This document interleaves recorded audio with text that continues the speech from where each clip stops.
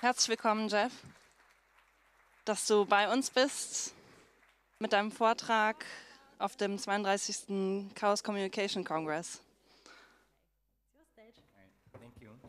Vielen Dank.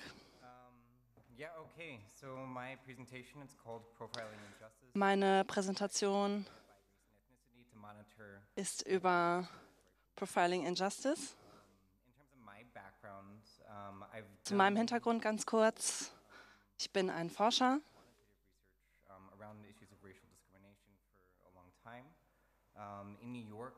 Ich bin in New York beim Zentrum für use of force by police against civilians and also on stop and search against civilians. In der letzten Zeit, in den letzten ungefähr 18 Monaten, habe ich als äh, Research Consultant gearbeitet und mich mit Datenschutz und Privatsphärenproblemen befasst. Und äh, mein Vortrag wird sich mit dem Querschnitt dieser Arbeit auseinandersetzen. Ich werde euch drei Takeaways mitgeben. Erstens, wir sprechen hier über Privatsphäre und auch Diskriminierung. Beides sind Menschenrechte und es gibt Differenzen zwischen den beiden.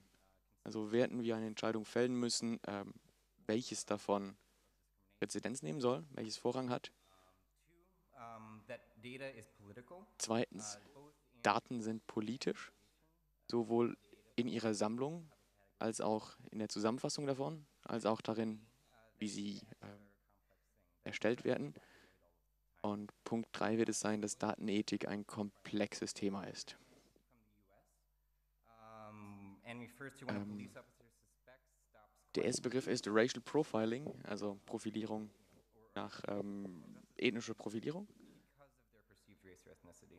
Ähm, der Effekt ist, dass Personen unterschiedlich behandelt werden aufgrund ihrer Herkunft. Ähm, klaffendes Beispiel beispielsweise die ähm, Personen mit äh, Herkunft aus dem Nahen Osten werden anders behandelt. Sichtbar war das auch äh, in Hearings im Parlament in den USA und in weiteren Fällen. In Deutschland gibt es zu wenig Daten, um zu verfolgen, ob tatsächlich eine Diskriminierung vorliegt. Es ist, was es erschwert nachzuvollziehen, äh, ob einzelne Personen benachteiligt werden oder nicht. Die einzige Möglichkeit für eine Einzelperson, um überhaupt eine, eine Beschwerde zu deponieren, ist, indem sie sich an die Polizei wendet. Und dort besteht automatisch ein Machtgefälle zwischen dem annehmenden Polizisten und der Person, die die Anzeige startet. Was wir brauchen oder was Personen fordern, ist eine Statistik auf der nationalen Ebene, die gesammelt wird.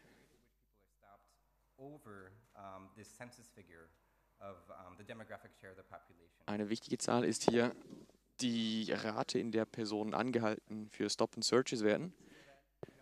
Ähm, relevant ist die Zahl, wie viele Personen angehalten werden, verglichen oder äh, geteilt durch die, den Anteil dieser Personengruppe an der Bevölkerung. Diese beiden Zahlen müssen erhoben werden, was in Deutschland noch fehlt. Sowohl die Europäische Kommission als auch die Internationale Arbeitsorganisation ähm, bitten schon seit Jahren um standardisierte Datensets, was diese Sachen angeht. Und ich werde da jetzt nicht ins Detail gehen, aber ich kann da später zurückgehen. Ähm, was ich jetzt machen möchte, ist äh, ein Vergleich von Großbritannien und Deutschland. In Deutschland ähm, gab es 1993 einen Zensus, wo man einen Versuch gemacht hat, diese Sach Daten zu erheben, aber wegen äh, großer Ablehnung und auch Angst vor Überwachung und einem Mangel an Vertrauen in das Staatssystem gab es einen riesigen Boykott diese, von diesem Zensus, wo Leute ähm, absichtlich falsche Informationen angegeben haben wo äh, Leute zum Beispiel Kaffee über ihre Formulare verschüttet haben, wo sie dann sie nicht ausfüllen konnten. So ähm, wie andere Präsentationen bei der Konferenz heute haben auch schon gesagt haben, dieser Zensus wurde für äh, verfassungswidrig erklärt und auch wegen der Art, wie die Fragen gestellt wurden. Und wenn man diesen Zensus vergleicht mit anderen Registrierungen, die ähm, verfassungsrechtlich sind, so deswegen wurde der Zensus verspätet durchgeführt in 1997 und äh, das war der letzte Zensus bis zu dem europäischen 2011. Und diese Entscheidung des Bundesverfassungsgerichtes war sehr wichtig, denn es hat eine, ähm, hat das Recht auf informationelle Selbstbestimmung in Deutschland ähm, hervorgebracht. Und das ist sehr wichtig für die Privatsphäre in Deutschland und was Rechtsgebung in der Privatsphäre bis heute. Welche Art von Information wird gesammelt? In Deutschland ist das sehr Standard. Ähm, da wird, werden die typischen demografischen Dinge wie ähm, Alter, Geschlecht abgefragt. Eine Sache, über die ich gerne fragen würde, äh, äh, reden würde, ist die, das Herkunftsland und das Land der ähm, des, äh, der Staatsbürgerschaft. Denn das ist etwas, wo ähm, entschieden wird, ähm, wo man, ob man Migrationshintergrund hat. Und in Deutschland ist es so, dass jemand, der in der zweiten oder dritten Generation ein, das kann in der zweiten oder dritten Generation sein, dass man einen Migrationshintergrund hat. Und das ist oft ein ähm, Begriff, der benutzt wird, um über äh, Diversität zu reden. Und das ist problematisch, weil man Staatsbürgerschaft als einen Proxy benutzt, um über Diversität zu reden. Und das blendet auch die Erfahrungen aus und äh, die Selbstidentifizierung von Leuten, die nicht in diese zweite oder dritte Generation fallen, die zum Beispiel als ähm, Black German identifizieren, aber fünfte oder sechste Generation sind, die werden einfach komplett ignoriert und werden nicht aufgenommen im Status quo. Es ist auch besonders schwierig, weil es schwierig ist, diese Dinge auf einem äh, land landesweiten äh, Niveau zu messen. Also wir haben das also wir haben das nicht wirklich, also wir haben das nicht wirklich auf dem nationalen Level, aber wir haben es auch nicht wirklich in den Bundesländern. Also auch diese Daten nicht zu haben, das bedeutet nicht, dass es keinen Rassismus gibt. Also 2005 gab es zum Beispiel ähm, einen 25 Prozent äh, Anstieg von Neonazi-Angriffen. Ähm, da gibt es noch keine äh, Urteile. Also auch die Weise, auf die diese Dinge ähm, untersucht wurden von der Polizei und so wie es bewertet wurde, zeigt nicht nur, dass es Rassismus, zeigt nicht nur Rassismus und zeigt nicht nur, dass es Rassismus in einem, auf einem sehr hohen Niveau zeigt, gerade, sondern zeigt auch, das kann man auch, kann man auch sehen in den Attacken auf äh, Flüchtlingsheimen. Das, also nur, dass wir diese Daten nicht haben, bedeutet nicht, dass wir kein Problem haben. Ähm, verglichen damit haben wir jetzt Großbritannien. 1991 gab es die Brixton Riots, die Brixton-Proteste in einer, ähm, einem Stadtteil von London. Und diese gab es vor allem wegen Ablehnung gegen die Art, wie die Polizei funktioniert hat und äh, wie sie ähm, operierten ähm, unter den sogenannten SAS-Laws, ähm, wo sie Leute gestoppt haben und äh, überprüft haben, ob sie äh, Waffen hatten oder ob sie Drogen hatten. Und so nach diesen äh, Protesten gab es einen äh, Bericht, diesen Scarman-Bericht, und der hat festgestellt, dass es äh, sehr unverhältnismäßige ähm, Prozeduren gab in der Polizei. So, zum ersten Mal gab es eine Ref Reform, die nötig wurde und ähm, die britische Polizei musste Daten sammeln zu diesen, zu diesen Themen. Und äh, wenn, sie, wenn sie jemanden angehalten haben, mussten sie diese Daten sammeln, diese Informationen sammeln. Und dann hatte man auf einmal ähm, eine Baseline, Information, mit der man arbeiten konnte. Etwa zur gleichen Zeit ähm, in Großbritannien gab es den äh, Zensus 1991 und in der Gesellschaft gab es viele Debatten und Diskussionen zu dem Thema, ob man, ob man, ob man, ob man diese Informationen für, den gesamten, für, die gesamt, für das gesamte Land sammeln wollte. Denn man braucht diese beiden Dinge, um dieses Verhältnis herauszufinden. Aber es gab sehr viel Widerstand. Und Viele haben es äh, moralisch für moralisch und politisch problematisch gehalten, aber nicht aus den Gründen, an die man denken würde. Also sie haben sich nicht dagegen gewehrt, weil diese Fragen gestellt wurden, sondern ähm, wegen der Art, wie die Fragen gestellt wurden und wegen der Kategorien, die benutzt wurden. Und, und zwischen ähm, 75 und 99, 95 gab es ähm, Umfragen, in, besonders in ähm, Gruppen, die äh, ethnische Minderheiten repräsentierten. Da gab es äh, sehr, großen, sehr große Unterstützung für diese Umfragen. Sie wollten nur, dass es anders formuliert wurde. Also in 1991 haben sie angefangen, diese Daten zu sammeln und sie haben diese Frage nach äh, der Race in, da, da, drin und ich habe hier Screenshots von dem Census 2011, also dem letzten. Und es gab einige Kategorien, die sie auch mit reinnehmen wollten. Und diese Kategorien ändern sich über die, mit der Zeit. Zum Beispiel ähm, weiße Iren hatten das Gefühl, dass sie auch diskriminiert wurden und dass sie, dass sie Dinge anders erfahren als, vor Example, und erleben als ähm, weiße Briten. Also diese Sachen noch äh, weiter zu unterteilen, wäre für sie hilfreich gewesen, um ihre Erfahrungen auch in diesen Fragebögen zu vermitteln. Und ungefähr in dieser Zeit, so 91, 93, da gab es den Mord von Stephen Lawrence. Es gab eine, eine unprovozierte rassistische Attacke, wo niemand jemals verurteilt wurde. Und was wichtig war, ist eben dieser Bericht, der damals herauskam. Und der hat einige Empfehlungen herausgegeben. Ähm, 70. Die meisten davon wurden tatsächlich ähm, übernommen, um, auch auf dem äh, Landesniveau. Und 2011 haben sie aufgehört, diese Datensammlung äh, verpflichtend zu machen. Also die Daten danach, den Daten danach können wir nicht mehr wirklich trauen. Also manche Teile der Polizei sammeln diese Daten weiter, aber andere machen es nicht wirklich. Und im gleichen Jahr hatten wir auch die London Riots. Ähm, der Guardian und die LSE haben einen Bericht dazu zu, äh, veröffentlicht, wo sie viele Interviews mit Leuten haben, die, die bei diesen teilgenommen haben. Und sie haben herausgefunden, dass viele der Leute, die teilgenommen haben, Gefühle hatten, sie hatten das Gefühl, dass sie von der Polizei nicht fair behandelt wurden oder dass es ähm, rassistische Diskriminierung gab und dass sie nicht wirklich mit Respekt behandelt wurden. Also um da jetzt ein bisschen ein paar Daten dazu zu tun, ein bisschen ein paar Zahlen, bevor diese Zahlen verschwanden. Also es gab zwei verschiedene Arten von Le davon Leute anzuhalten. Es gibt Paystop, wo ähm, man in einem gewissen Verdacht angehalten wird. Zum Beispiel da werden ähm, äh, Schwarze 17 mal so oft angehalten wie Weiße oder ähm, Asiaten, asiatisch aussehende werden zweimal so oft angehalten. Und es gibt eine andere Art von äh, Stops, wo man nicht einmal irgendwie einen äh, Grund für Verdacht braucht. Und da hat man 6,6 mal so viele ähm, POCs, die angehalten werden wie Weiße. Und dann sagen sie, naja, es gibt keine Verbindung zwischen ähm, Kriminalität und Ethnie. Also wenn Leute angehalten werden bei diesen Dingern, dann ist es, dann läuft es in die falsche Richtung. Also es gibt besonders weiße Männer, die äh, Drogen besonders oft benutzen. Also das ist nicht proportional, das hat nichts miteinander zu tun. Also es gibt eine Verbindung zwischen, ähm, äh, es gibt, und das ist dies zwischen Ethnie und Armut. Man sieht hier zum Beispiel ähm, Black Asians und äh, Black English. Und das äh, durchschnittliche Einkommen ist deutlich niedriger für diese Haushalte. Also ich mag äh, Karten. Ich finde, sie sind sehr cool, wenn man ähm, Geschichten erzählen kann, wenn man bestimmte Daten dort hier reinnimmt. Und hier habe ich zum Beispiel ähm, die verschiedenen Stadtteile von London drin und habe, rein, hab, stelle hier dar, welche Leute gestoppt wurden 2012. Und dann habe ich auch reingetan in diese Karte, wo es wirklich kriminelle Aktivitäten gibt. Und die, dort, wo die Leute angehalten werden, das sind nicht wirklich die Orte, wo die Leute auch angehalten werden. Also wenn man diese Taktik wirklich als etwas sieht, das eigentlich äh, Verbrechen verhindern soll, kriminelle Aktivität verhindern soll, dann passiert es nicht in der richtigen Stelle. Und wenn man wieder zurückgeht zu, dieser, zu diesem Verhältnis.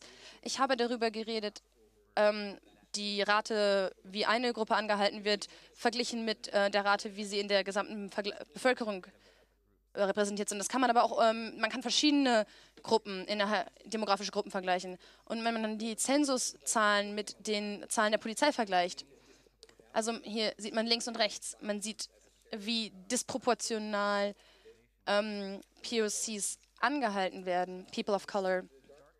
Man kann in den ähm, dunkleren Gegenden sehen, da werden ähm, Leute, die als äh, schwarz wahrgenommen werden, viel, öf viel öfter angehalten das ist so 10 bis 20 Mal äh, wahrscheinlicher, dass sie eingehalten werden, als jemand, der weiß ist. Also in den dunklen Gegenden, da kann man sehen, wenn man sie vergleicht mit, äh, den, mit der Armutsrate, dann sieht man, also es gibt eine größere Unverhältnismäßigkeit in den äh, reicheren Gegenden als in den ärmeren Gegenden.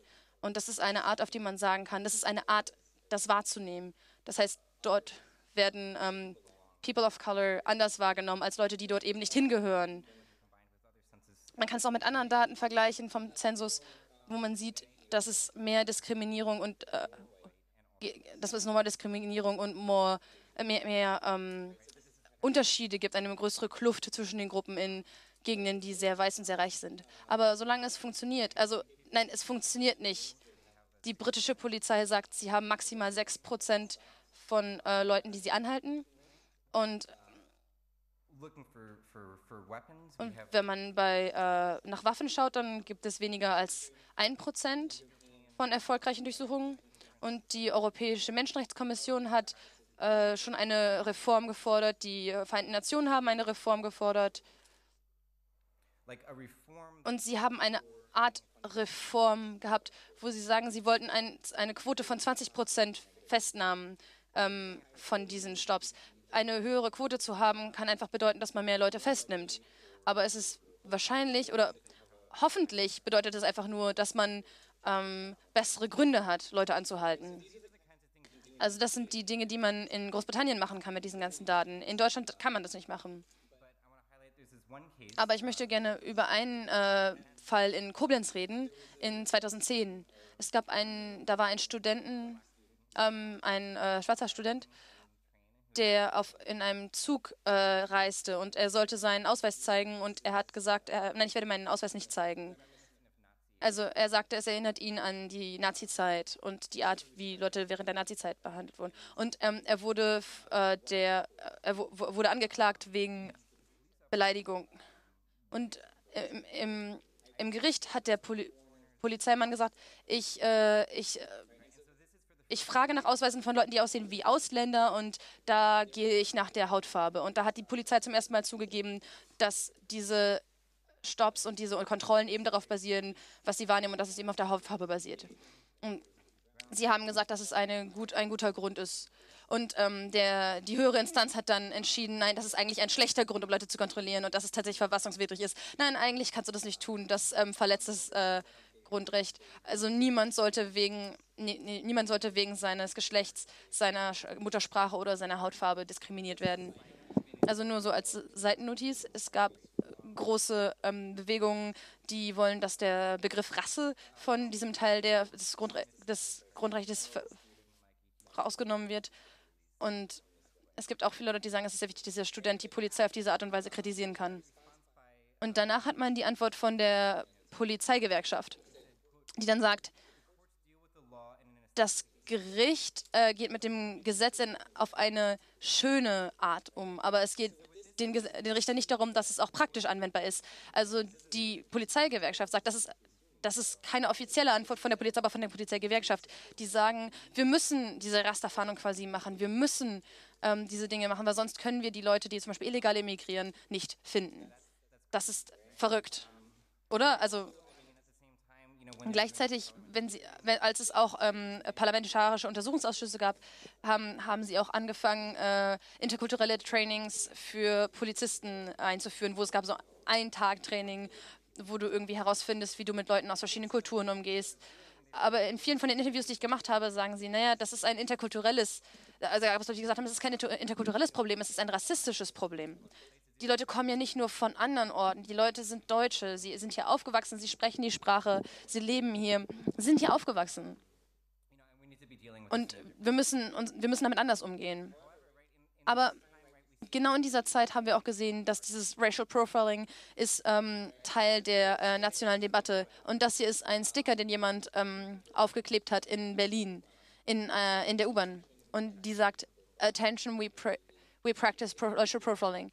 Also auf dem Sticker steht, ähm, Achtung, wir führen Racial Profiling durch, wir äh, kontrollieren ihre Ausweisdokumente. Also wenn man, die, wenn man sich anschaut, was passiert ist in diesen Bundestag-Untersuchungsausschüssen und sie haben zum ersten Mal Daten herausgegeben, was die Polizeistopps angeht in 2013. Vorher wurde niemals irgendwelche Daten herausgegeben, was die nationale, was die Bundespolizei angeht. Vorher haben sie mal gesagt, es gibt keine Informationen, also können sie auch nichts zeigen. Also die Zahlen, die auch von der Bundespolizei herausgegeben sind, sind nicht nach ähm, Ethnie äh, sortiert. Also was zeigt uns das? Die meisten Leute, die angehalten wurden, äh, mehr als 85 Prozent sind an der Grenze. Also an der Grenze, also innerhalb von 30 Kilometern der deutschen Grenze. Also das, äh, da, da fallen, fällt auch ein Großteil der deutschen Bevölkerung runter. Aber wenn man, wenn man sich anschaut, was, wo, wo, wo, wessen die Leute verdächtigt werden, dann sieht man hier die äh, Verbrechen. Und dann sind da maximal ein Prozent der Leute, wo man wirklich sieht, dass sie etwas, ein Gesetz, verletzt, äh, ein Gesetz verletzt haben. Also wieder ist es keine ähm, Urteilsrate, also die Leute sind auch nicht verurteilt. Also die Leute können das immer noch äh, anklagen und kannst zum Beispiel sagen, wenn du zum Beispiel deinen Ausweis gerade nicht dabei hast, dann kannst du immer noch danach sagen, oh, ich habe jetzt doch meinen Ausweis und kannst beweisen, dass du dieses Gesetz nicht gebrochen hast. Aber wenn es so eine niedrige Rate von wirklich positiven Ergebnissen gibt, also wenn nur so ein Prozent von diesen ähm, Leuten, die angehalten werden, wirklich irgendwelche Gesetze gebrochen haben, aber wie können wir als Forscher mit diesen Daten, wa warum warum machen wir das eigentlich noch? Warum gibt es diese Praktik noch? Und in einigen von diesen Interviews, die ich gemacht habe, haben sie gesagt, naja, wir wissen, dass das ineffizient ist. Aber ähm, es hat einen Effekt der Kriminalisierung. Es kriminalisiert gewisse äh, Gruppen. Und ob das wahr ist, naja, wenn das wirklich wahr ist, dann ist das vielleicht ein Grund dafür, sich diese Daten einmal anzuschauen, diese Zahlen. Und natürlich die Europäische Kommission, die EU-Kommission gegen ähm, Rassismus und Toleranz, Intoleranz hat schon gesagt, selbst wenn diese, selbst wenn man diese 1% hat, dann ist das nicht wirklich, dann ist das nicht wirklich gleich äh, verteilt und besonders Leute mit dunkler Haut und andere Minderheitengruppen werden besonders oft angehalten.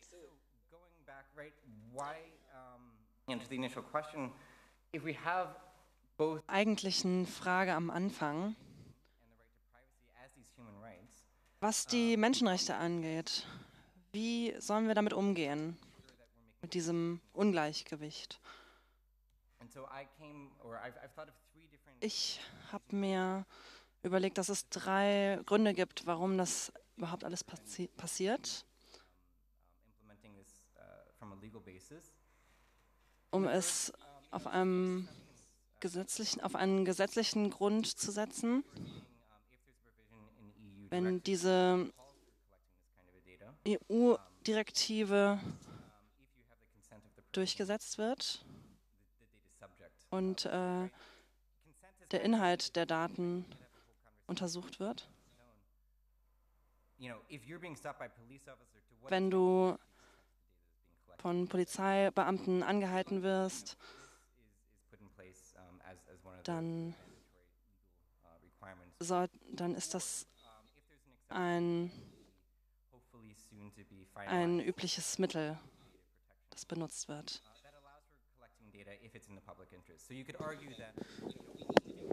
Man könnte also argumentieren, dass wir diese Daten sammeln müssen, um zu evaluieren, äh, ob eine Diskriminierung stattfindet und ob es ein Problem ist, das wir lösen müssen als Gesellschaft.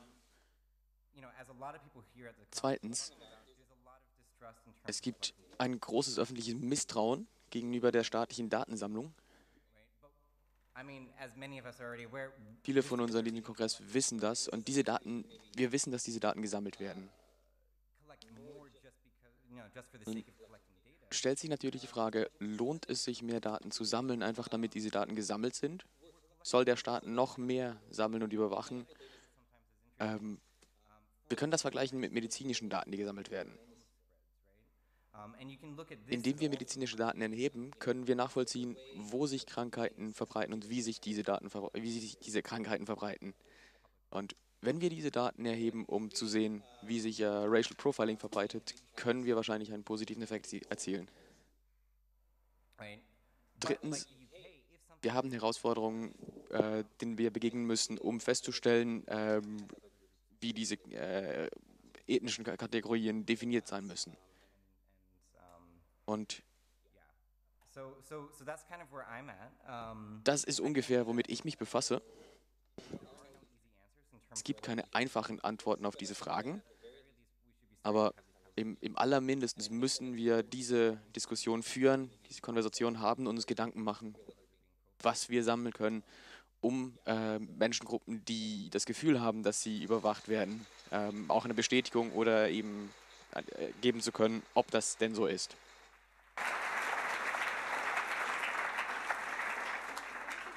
was an awesome talk. I mics over there and over there, and whoever has a question, I can come walk to you. Thank you very much. Um, I'm just wondering in terms of. Vielen Dank. Mich würde interessieren. Sorry, uh, yeah, of course. Uh, I'm, I'm sort of curious in terms of how you're creating the um, disproportionate demographics, whether it would be worth Mich würde interessieren, wie du diese äh, überproportional abgebildeten Menschengruppen abbildest, ob dort äh, ausschließlich die Ethnie drin sind oder auch andere Kriterien, wie zum Beispiel das Geschlecht, das Alter, ähm, die Tageszeit, ob auch solche Daten erfasst werden sollen. Ähm, Anstellungsstatus. Ist es, ist es möglich, sowas zu erfassen und würde es Sinn machen? Also du fragst, ob ich nicht auch andere Informationen, demografische Informationen mit reinnehmen sollte. Also ja, ich denke schon. Aber ich glaube auch nicht, dass ich derjenige sein sollte, der entscheidet, wie diese Probleme gelöst werden und welche Informationen wir nutzen. Also wir sollten mit diesen, äh, mit den Menschen in diesen Communities wirklich selber reden. Und wenn sie sagen, dass es etwas ist, weswegen sie das Gefühl haben, dass sie deswegen diskriminiert werden und von dem sie wollen, dass es ähm, mit reingenommen wird, dann denke ich, sollten diese Sachen auch mit reingenommen werden. Aber ich glaube nicht, dass ich die Person sein sollte, die deswegen entscheidet. Next question.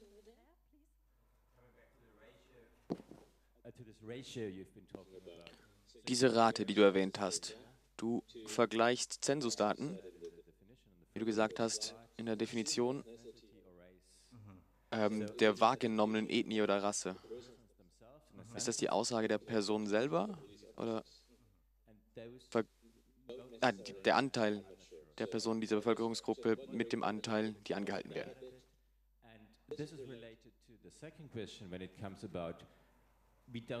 Meine Frage bezieht sich auf zweite Frage. Ähm, es ist schwierig, diese Daten zu erheben. Wäre es allenfalls möglich, diese Daten von Personen zu erheben, die von dieser Diskrimination, unter dieser Diskrimination leiden? Beispielsweise in Ägypten gibt es ein Projekt namens HASMAP, Arasmap, auf der gemeldet wird, wenn äh, Leute belästigt werden. Die Personen melden diese Vorfälle selber. Es könnte beispielsweise eine andere Quelle sein, die man für solche Arbeiten nutzen könnte. Also in der ersten Frage ging es darum, ob wir nicht auch benutzen sollten, was, äh, wenn nicht lieber Selbstidentifikation statt äh, wahrgenommener Ethnie benutzen sollten. Ja, das mag nicht das Gleiche sein. Also Leute werden vielleicht äh, auf eine Art und Weise wahrgenommen, die anders ist als die, wie sie wirklich identifizieren. Und es gibt verschiedene Gruppen in Deutschland, die ähm, beides fordern tatsächlich. Die sagen, also dass es quasi zwei Tickets geben soll, also zwei verschiedene Mechanismen, dass man quasi Leute hat, die ähm, auch niederschreiben, äh, wie sie selbst identifizieren und wie die Polizei sie wahrnimmt. Und wenn wir uns wirklich diese Muster von Diskriminierung anschauen wollen, dann wäre es tatsächlich interessanter, ähm, sich anzuschauen, wie die Leute wahrgenommen werden, aber und gar nicht so sehr, wie sie selbst, sich selbst identifizieren. Aber ich denke, es ist sehr wichtig, beide ähm, zu bedenken. Und für die zweite Frage, ich habe, Entschuldigung, ich habe ein bisschen vergessen, was es war. Also die Frage war, man soll die Leute selber nach Daten fragen. Daten ist äh, von Leuten, die selber. Also ich glaube ja, das ist das ist eine super Idee und ich glaube, es gab gerade erst eine ähm, Umfrage, die genau das getan hat. Und die Ergebnisse wurden noch nicht herausgegeben und die ist gerade erst zu Ende gegangen und hat auch sich mit verschiedenen Erfahrungen von Diskriminierung beschäftigt. Und es gibt auch verschiedene Organisationen, wie zum Beispiel von äh, Sozialarbeitern, die diese Daten schon seit langer, langer Zeit sammeln, und weil sie eben ganz, ganz viele hunderte von Fällen haben. Thanks.